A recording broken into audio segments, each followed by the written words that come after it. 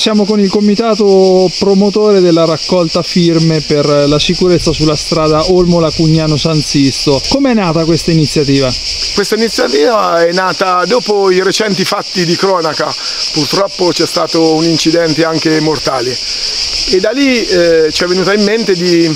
di, organizzare insieme alle associazioni di Lacugnano, la Chiocciola, la Toriscal e, e altre, di organizzare questa petizione.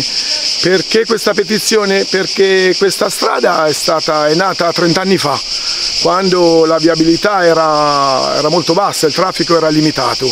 e invece è diventata una, una bretella, è diventato un raccordo molto importante che, colle, che collega dall'ospedale Silvestrini, collega nuovo, ai nuovi centri commerciali, Decathlon e quant'altro.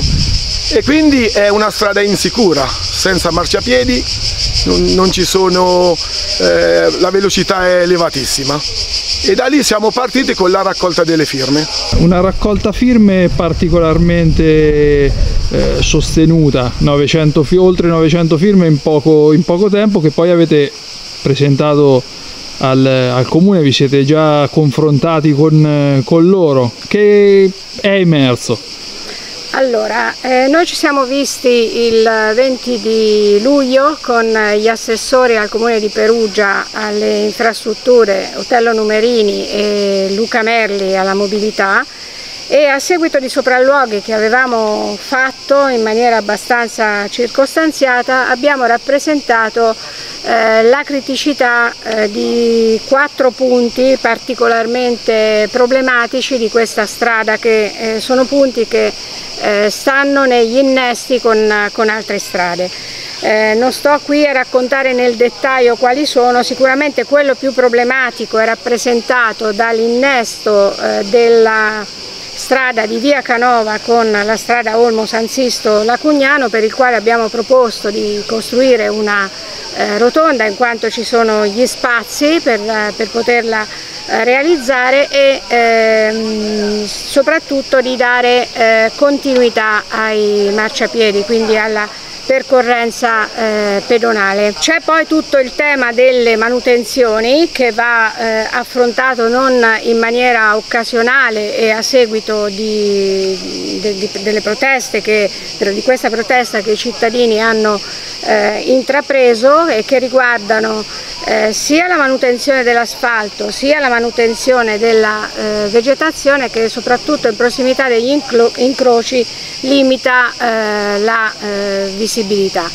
Ehm, l'assessore si è dimostrato attento alle nostre richieste, ehm, ne è scaturita una proposta di, eh, da parte del Comune di realizzare la rotatoria eh, in prossimità dell'innesto con via Antonio Canova da inserire comunque nel prossimo eh, piano triennale per le opere pubbliche e di eh, realizzare anche eh, tutta la parte dei marciapiedi che mancano eh, sulla, sulla strada che se sono come realizzazione di entità economica superiore a una certa soglia eh, saranno anch'essi inserite nel, nel, piano triennale delle opere pubbliche.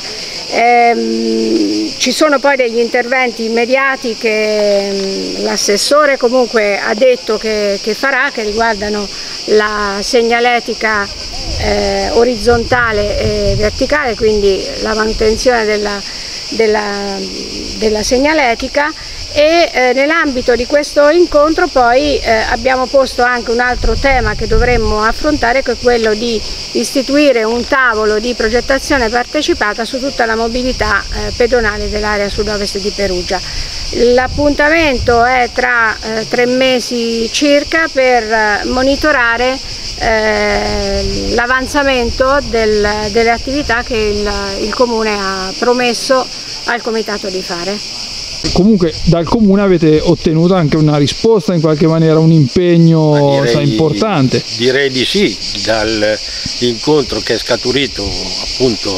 eh, qualche giorno fa, c'è un impegno preciso eh, quantomeno a realizzare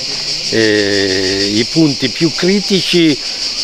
quanto è stato richiesto che ha ritenuto ovviamente l'indispensabile quindi eh, noi non faremo altro che eh, essere vigili anche nei prosieguo del tempo e l'appuntamento che ci è stato dato tra tre mesi sicuramente eh, lo sosterremo in virtù anche delle 900 e passa firme che abbiamo ottenuto. Io rappresento la chiocciola e insieme a me c'è anche eh, rappresentante della società Torriscal che eh, ovviamente insieme abbiamo sostenuto la petizione ottenendo degli ottimi risultati. La necessità c'è, l'esigenza c'è, è stata riconosciuta e a questo punto è necessario che eh, il Comune si muova con efficacia ed efficienza. Stasera eh, c'è già un primo incontro con la cittadinanza per raccontare